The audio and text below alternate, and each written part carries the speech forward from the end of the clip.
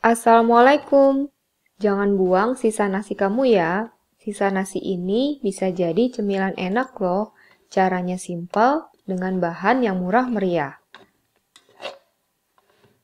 Nasi yang kamu gunakan bisa nasi sisa kemarin, nasi baru, atau nasi ayam KFC yang Uma buat di video sebelumnya. Klik di atas atau deskripsi jika kamu belum menontonnya. Yuk langsung saja kita buat. Pindahkan sisa nasi dari magicom ke mangkuk atau wadah yang agak besar. Haluskan 2 siung bawang putih dan satu cabai menggunakan ulekan atau blender.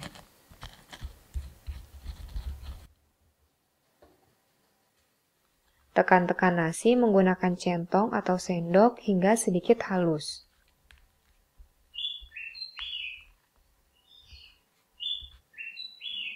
Tambahkan tapioka sebanyak 5 sendok makan atau 100 gram.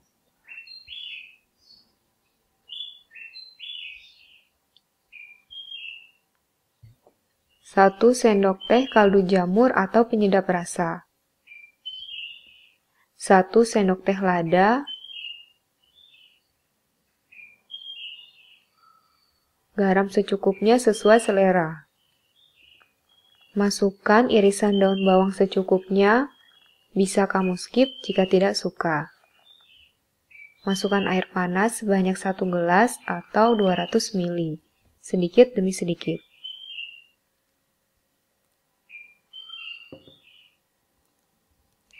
Aduk hingga semua merata.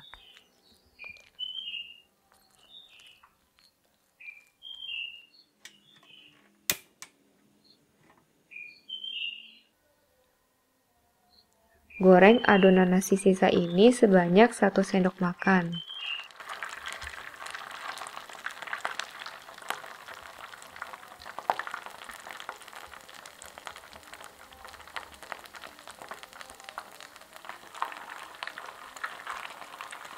Dengan minyak panas dan api sedang.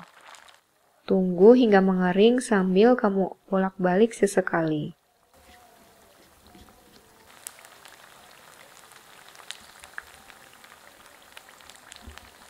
Angkat jika semuanya sudah kering dan matang.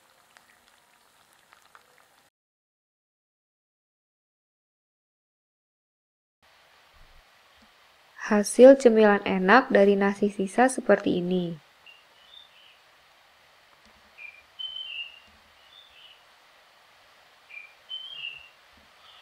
Hayo tebak, mirip cemilan apa ya bentuknya?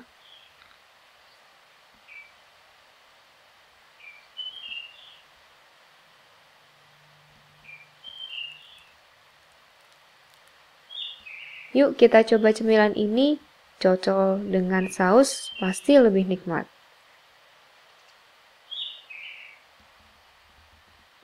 Insya Allah rasanya enak banget. Selamat mencoba ya. Wassalamualaikum warahmatullahi wabarakatuh.